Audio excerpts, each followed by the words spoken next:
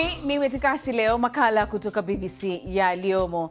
Zimesalia siku mbili tu kabla ya kuandaliwa kwa uchaguzi mkuu nchini Nigeria. Je, vijana wameangaziwa katika sera na manifesto kwa wale wanaowania urais? Tupo ange Abuja kukujuza mengi.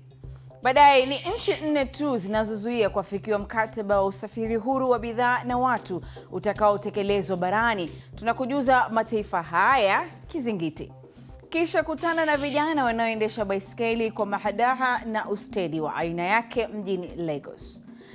Karibu popote ulipo, moja kwa moja kutoka studio zetu Nairobi, Kenya. Mie ni Linus Moshigadi, tuende kazi.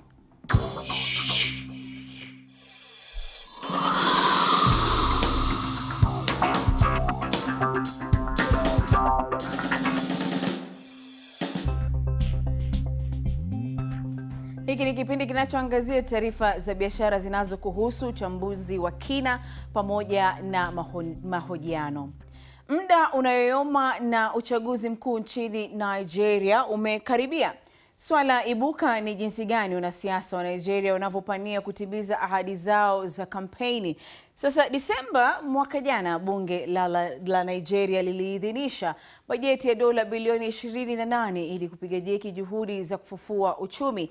Sasa makadirio haya yameongezeka maradufu tangu mwaka 2015 alipochukua hatamu ya uongozi rais wa sasa Muhammadu Buhari. Bajeti ya wakati huo ilikuwa dola bilioni kumi na mbili unusu. Sasa maswala makuu yenye kupawa kipaumbele katika uchaguzi wa mwaka huu ni sawa na yale ya mwaka 2015, nayo ni usalama, kufufua uchumi pamoja na kuangazia swala zima la ufisadi. Sasa je, serikali ya Nigeria hutumia fedha za umma kufanya nini na vijana wameridhika na hilo? Sasa mwanahabari mwenza Mwanahabari mwenza Maya Hayakawa alifanya kikao na vijana wenye chini ya umri wa miaka 25 ambao wamekuwa wanapiga kura kwa mara ya kwanza katika uchaguzi huu. Aliwauliza jinsi wangetumia bajeti ya dola bilioni uh, 28.8 ya nchi hiyo iwapo wangepata fursa. Tazama. All this for education. Tuwekeze kwenye elimu. Tunahitaji ajira. Wanahitaji ajira. Kilimo kimekufa, wacha niweke hapa. Sawa, nafikiri ni safari za ajira. Oh, nafikiri ni sawa. Kama mngekuwa na uwezo wa kuamua wapi mweke hela katika bajeti, mngechagua sekta gani na kwa nini? Unapotengeneza nafasi za ajira, umetengeneza ulinzi, ajira, una wafanyikazi kwenye sekta ya afya. Kwa hivyo nafikiri kutengeneza nafasi za ajira ni muhimu. Everybody in the country is illiterate, Kama kila mmoja kwenye nchi yetu atakuwa na elimu, kilimo kitakwenda vizuri, miundombinu itakuwa sawa, tuna waajiri na waajiriwa wengi kwenye sekta hiyo, tutakuwa na afya, ulinzi, kwa sababu hakuna elimu inayokwenda bure. Kwa hiyo nafikiri elimu ni muhimu kuliko vitu vingine. So I believe education should go first for anything. Kuna siku nilipanda pikipiki na mtu mwenye cheti cha daraja la kwanza. Kwa hivyo kuna watu wengi wenye elimu lakini hawana kazi, wanahitaji kutegemea kazi ndogo ndogo kuendesha familia zao, na inauma sana. Kama kutakuwa na miundombinu mizuri, kutakuwa na nafasi za kazi, kisha tuwapatie watu elimu. Hicho ndicho nitakachokifanya. Mna uhakika gani kuwa mtapata kazi baada ya kumaliza chuo? Kwa namna ambavyo mambo yanakwenda, nina wasiwasi sana na hili.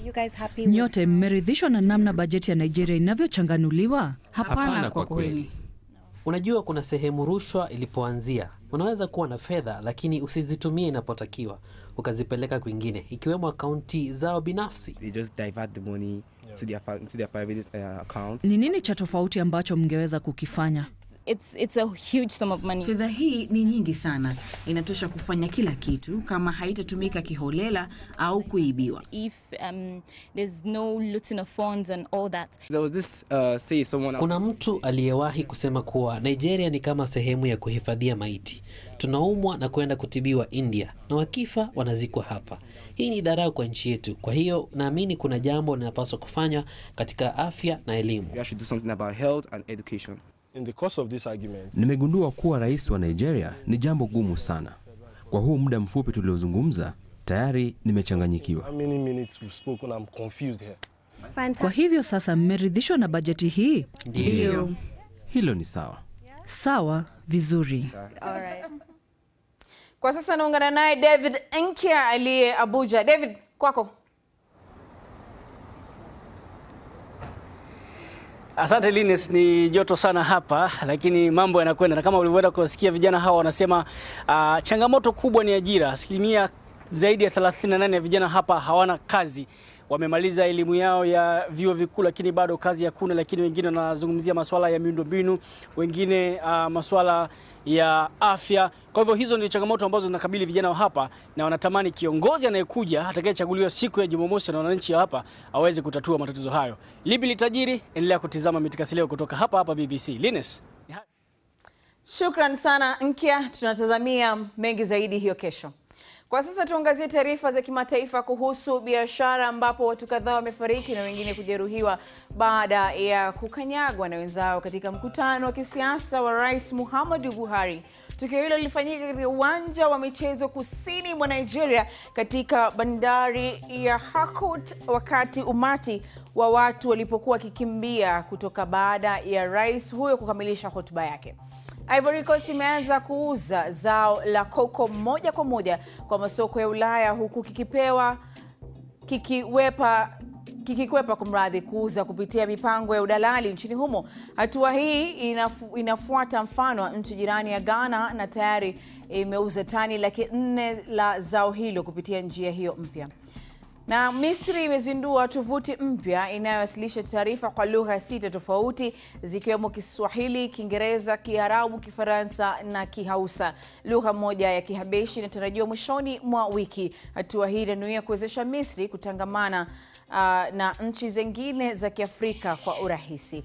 Hii ni Mitikasi Leo kutoka BBC tutakayoangazia baadaye. Kutana na kijana wanaoendesha baiskeli kwa madaha zaidi na ustedi nchini Nigeria.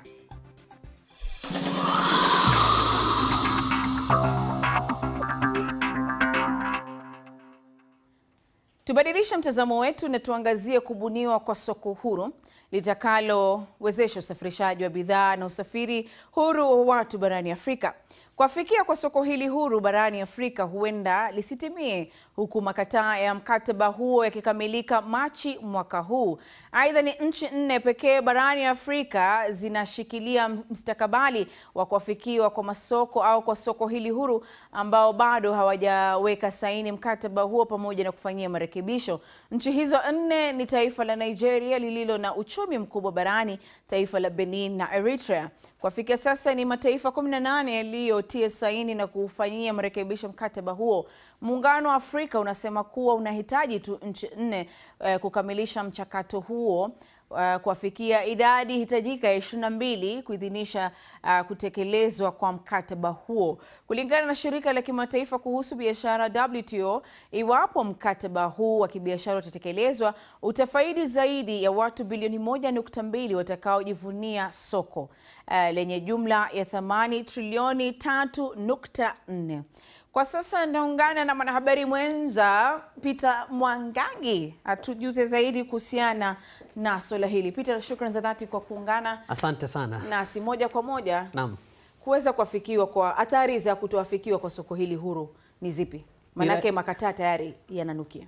Ni rahisi sana kwa sababu angalia, Afrika ina zaidi ya watu bilioni moja. Hilo tayari ni soko.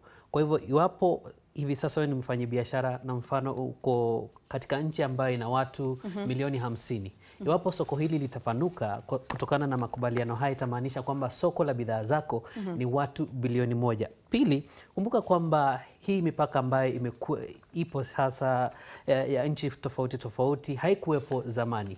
Waafrika walikuwa wanaweza kufanya biashara uh, katika sehemu kubwa sana. Kwa hivyo eh, makubaliano haya ama mkataba huu utawapa watu fursa ya kuendelea kuzalisha na kuuza bidhaa katika soko kubwa zaidi uh, Afrika. Idadi inayohitajika tu ni mataifa 22 kuweza kufanya marekebisho na kutia saini Naam. mkataba huu. Kwa sasa tuna kumi 18. nane. Sasa tunataka tu na mataifa tu manne peke yake. Naam. Iwapo hayo mataifa manne hatatia saini, mstakabali utabakia ukiwa wapi? Na niseme kwamba tume, tuko karibu sana yaani tume, mbali tangu kuzungumziwa kwa swala hili, na hivi sasa mataifa mengi tu yametia saini, sasa yamebaki mataifa manne. Uh, ni, wa, ni, ho, ni, ni matarajio ya wengi kwamba mataifa haya yaliyosalia yatatia tia saini mkataba huu, lakini hata wasipotia saini mkataba huu, wengi wanasema kwamba hiki ni kitu ambacho hakiwezi kusimamishwa, ni kitu ambacho kitaendelea na biashara itafanyika. Kwa hivyo, kwa mfano eh, eh, na kwa sababu um, manufaa yake ni, ni mengi mm -hmm.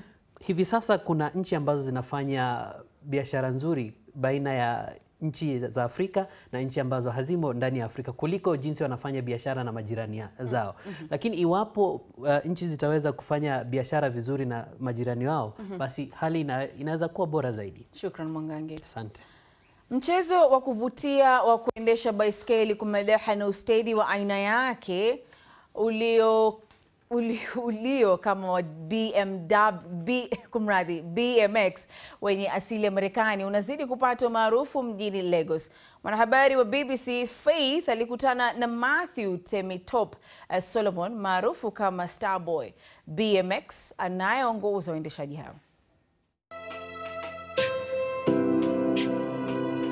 For me, BMX started. Nilianza miaka minne iliyopita. Nilienda kwa duka fulani na nikanunua baiskeli bila kufahamu kuwa ilikuwa ni aina ya BMX. Nikaamua kujifundisha kupitia mtandao na kuwafunza marafiki zangu, na hatimaye tukajitosa katika uendeshaji. Sio rahisi. Hapa Nigeria hakuna sehemu nzuri iliyotengwa, inafanya pasiwe na msisimuko wa kutosha, lakini hapa mtaani tumepata njia ya kuendeleza mchezo.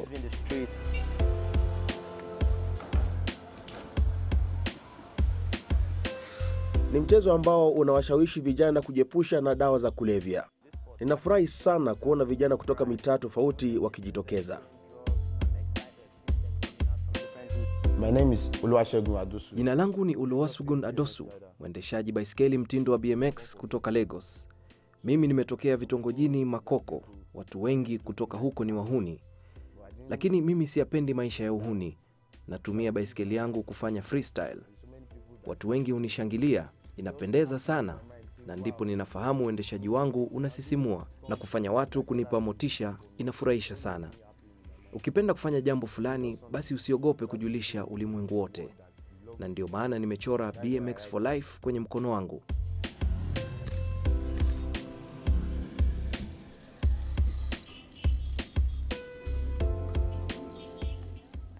Mwisho mwa mitikasi hii leo, majaliwa Mola akiridhia, hiyo kesho tupatane tena katika toleo lengine hapa BBC. Mie ni Linus Mushigadi,